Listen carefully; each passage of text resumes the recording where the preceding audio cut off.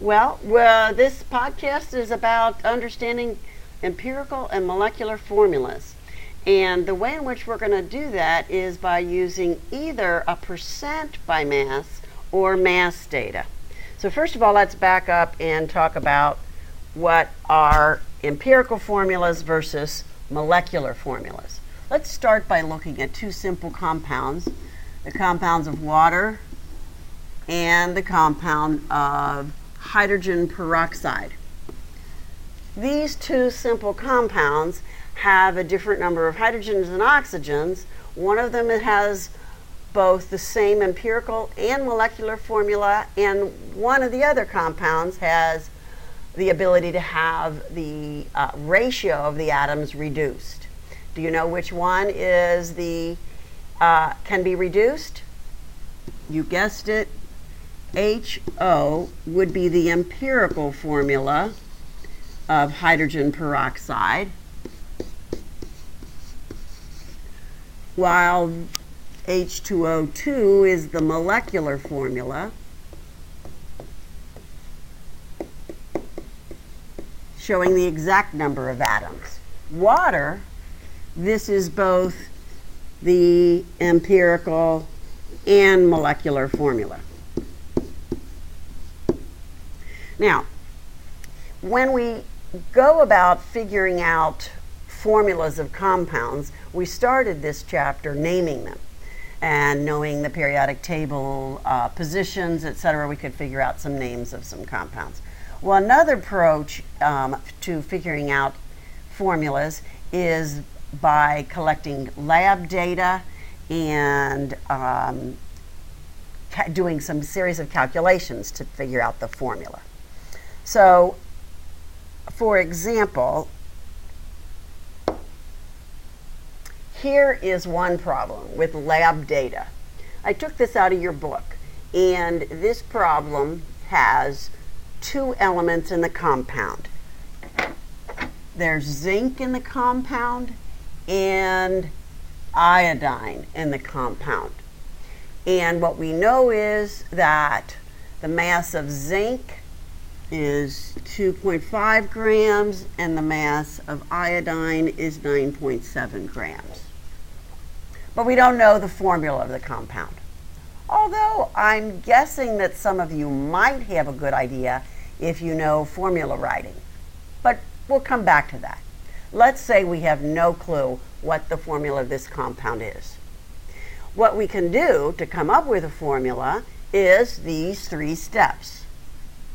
First, we're going to calculate the moles of zinc and calculate the moles of um, iodine. Second, we're going to look at the mole ratio, and that will allow us to write the formula. Okay? You know what? If you have an idea how to calculate the moles of zinc, given the grams, and how to calculate the moles of iodine, given the grams, pause the podcast right now. See if you can calculate that before I go to the next slide, because the answers are on the next slide. So pause it now if you have an idea, if you want to test your ability, and see how you do. All right, so let me cover up some of this. All right, so going from grams to moles is a matter of looking up the mass of a mole of zinc and using dimensional analysis to calculate the moles of zinc. Here we have 0.0382 moles of zinc and then 0.0764 moles of iodine using the mass from the periodic table of zinc and iodine. Now, if you look at those numbers, maybe you might see a connection between the two of them, maybe not. Whenever we're going to find a ratio, which is the next step here, once we find the moles, we want to find a ratio. We always want to do a ratio. So we had with a ratio that's a whole a whole number, a number larger than one. So when we do this ratio, we're going to put the larger number divided by the smaller number. Okay. And so if we do that, and we do a mole ratio, let's see here, how can I get this? There we go. Take the moles of iodine divided by the moles of zinc, do the math, 2 to 1 ratio, 2 iodine, 1 zinc. And you might say, well, why do we put the zinc first? Well, that goes back to formula writing. Put the metal ion, positive ion first, followed by the iodine. 2 iodine, 1 zinc, zinc iodide. Okay? So one method, as this points out, we start with grams. Let me summarize that. We started with grams. We went to moles using the periodic table. Then we calculated a mole ratio. And then we wrote the formula. The formula that we actually wrote would be called the empirical formula, the simplest ratio. And that's where we're going to, um, that's where we're working on right now, is the empirical formula. Now, in the next problem that we're going to do, we're going to actually add a step.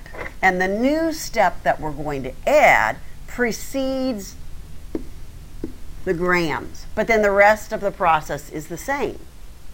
We're going to start with the percent by mass of each element in the compound, and then we're going to go to grams. And after we go to grams, we'll go to moles, mole ratio, and the empirical formula. Same process, now we're adding one more step. One more step. So here's the problem. The problem is that it's a compound that has 8.8% hydrogen, the rest is oxygen. And we're going to try to figure out if this compound is water. So we need to follow a few steps. I've outlined them here. If you want to think about this for a while first and see if you can do it on your own, great idea. Pause the podcast. Pause the podcast and then restart it once you've done your work. That's the best way to do a podcast. Stopping, pausing, seeing if you understand it, and then check the work next. All right, so I've shrunk it down so I have room to work. So first of all, if I have 5.88% hydrogen and the rest is oxygen, then how do I find the percent of oxygen? Well, if it's only hydrogen and oxygen, then really 100% is the sum of the hydrogen and oxygen. So the percent of oxygen I can find by subtracting, can't I? So, one, four, that's the percent of oxygen. Yeah? So right now what we have is 58 excuse me, 5.88% hydrogen and 94.12% oxygen. And somehow or another, we got to go from that to grams. And if we get the grams of oxygen and if we get the grams of hydrogen, then we can go to moles and do the same thing that we did in the previous problem. So all we have to do is figure out how to go from percents, how to go from percents to grams. And it's easy, easy if you assume that we have a hundred grams of this compound. Always assume 100 grams because guess what 94.12% of 100 is? Yeah, it's 94.12 grams. So now we know the grams of oxygen and what's 5.88% of 100, but 5.88 grams. Yes? All right, so I'm going to go to a new slide here. So if I have 5.88 grams of hydrogen now, and let's just go down, 5.88 grams of hydrogen. And I have 94.12 grams of oxygen. Can I go to moles? Sure. I'm going to put that over 1. I'm going to look up the molar mass of hydrogen, which is 1 gram, that are in 1 mole.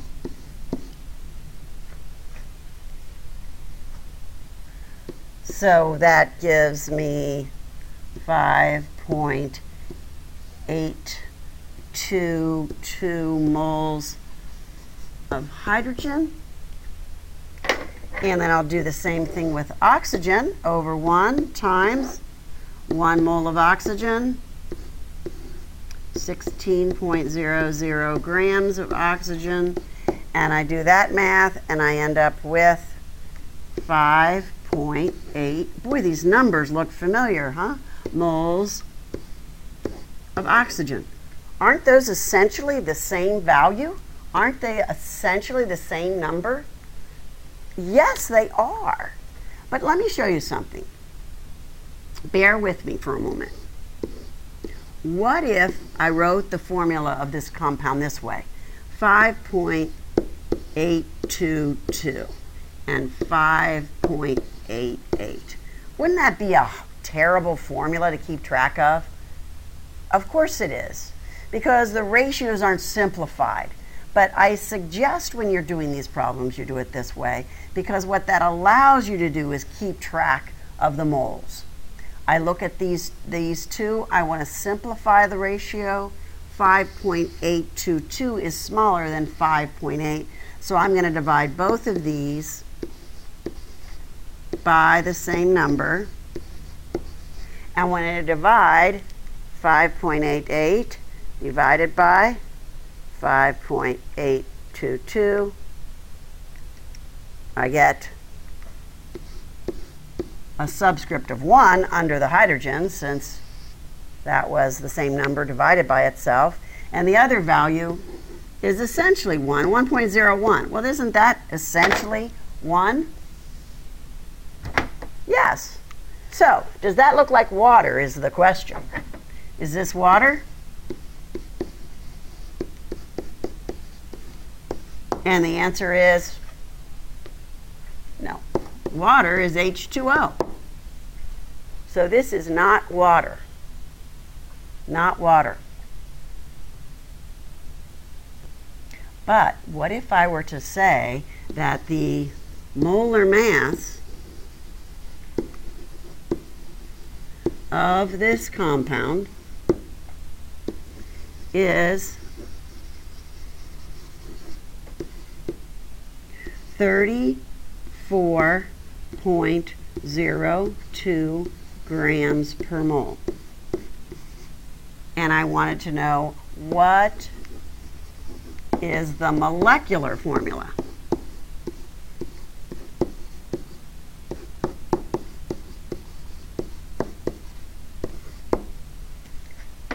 Remember the other day when we did some problems, we noticed the connection in empirical and molecular formulas. Let me go back to this slide for a moment we looked at empirical and molecular formulas and we found that the connection between the empirical formula and the molecular formula, if we reduced the molecular to the empirical by six, then the molecular formula weighs six times what the empirical formula does. So for this problem, if we want to figure out what the formula or what the formula, the molecular formula of the compound is, then what we can do is figure out well, what is the mass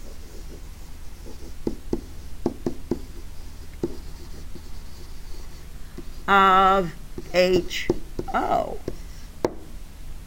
So, one hydrogen, 1.01 grams, one oxygen, 16.00 grams.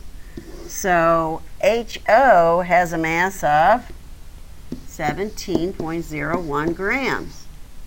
And if the substance that we're talking about has an empirical